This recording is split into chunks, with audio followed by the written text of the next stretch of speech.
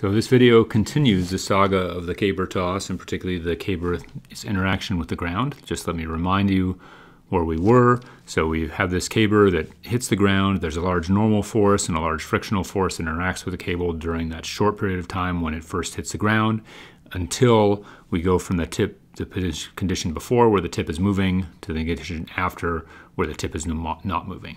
Our game plan here was that we wanted to, given the initial state variables, be able to, and given the fact that these impulses happen, apply conservation in order to first find out how what the impulses are, and then eventually to figure out what the final state variables are, so that we can then proceed with um, actually simulating the system after this impact with the ground has happened.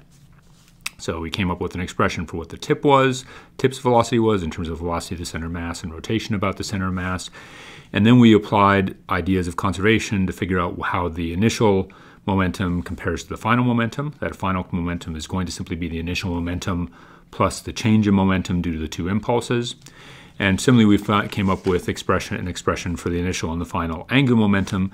Of course, the initial angular momentum will simply have a part due to translation and a part due to rotation.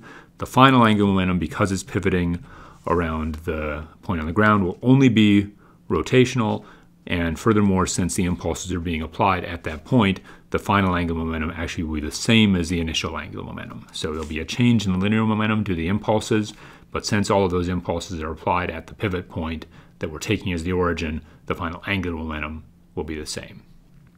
Okay, so at this point, we want to figure out what these impulses are.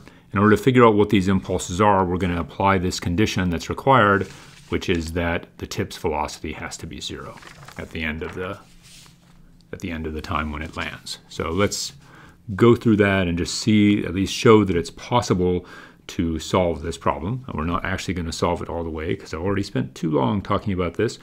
Um, but if I write the tip's velocity out, right, in terms of the sort of final velocity of the center of mass, right, so the final tip velocity will be the final velocity of the center of mass plus minus L onto theta final times theta hat, right? And that has to do with both the idea that it's the center of mass is translating and the center of mass is rotating. Okay? If we, when we also know that this has to be zero, right? Now we can apply our momentum conservation to come up with an expression for what the linear velocity of the center of mass is, right? We know that the final momentum is the initial momentum plus that impulse. So this term is simply going to be whatever the initial momentum is plus the impulses divided by the mass, right? So that is what the final velocity of the center of mass is in terms of those two impulses, right? Similarly, we can do the same thing here and apply the conservation of angular momentum to figure out an expression for the final angular velocity, right? You recall that we already did that, right? So if we solve for the angular velocity here, we can see that we can write that in terms of the position of the center of mass relative to the pivot point, the linear momentum of the center of mass, and then the, angular, the initial angular momentum about the center of mass. So this will be minus L on 2 um, times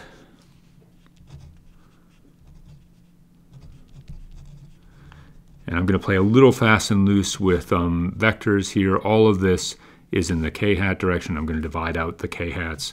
Um,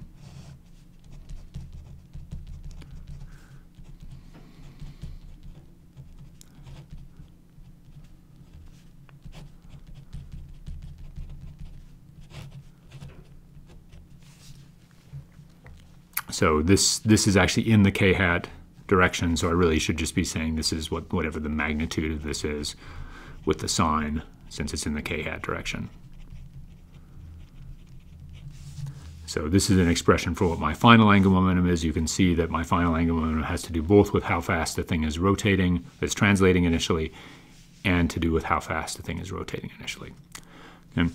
Now, at this point, I want to sort of step back and ask the question, can we actually solve this problem? So what do we know? We know this. It's just the initial x, x hat, i hat, and the initial j hat velocity. Right? So that's pretty easy to determine. We don't know this. We do know the initial center of mass momentum, right? That is, again, has to do with the velocity. So we know that.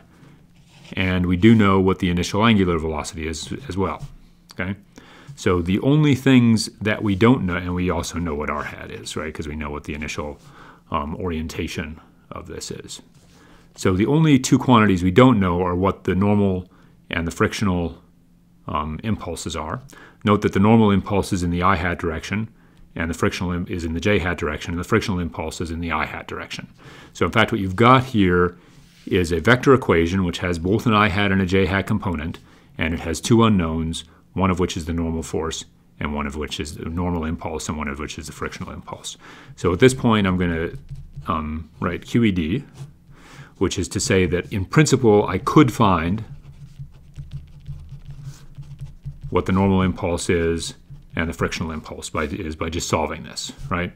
And once I find that,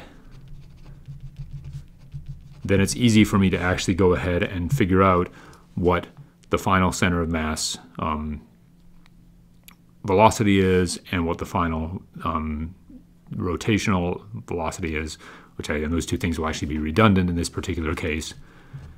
So at that point, it'll be easy to find theta f dot, which is actually what you need in order to proceed. Okay, I'm not going to do the algebra here. It's bad enough trying to do algebra live. Doing it on film is even worse because when you make a mistake, you need to start all over again. And I've started over all over again too many times on this. So, but at this point, you can see that I actually could figure this out in order to proceed to the next step big idea here that I want you to take away is this idea that impulse, right, is something that it makes sense both for linear momentum, right? The change in linear momentum here is due to an impulse. And it also makes sense for angular momentum. You can calculate a torque impulse, right? In the same way that you calculate a torque as r cross f, you can calculate a torque impulse as r cross a force, uh, r cross impulse. And that torque impulse can give you a change in angular momentum in the same way that a force impulse can give you a change in linear momentum.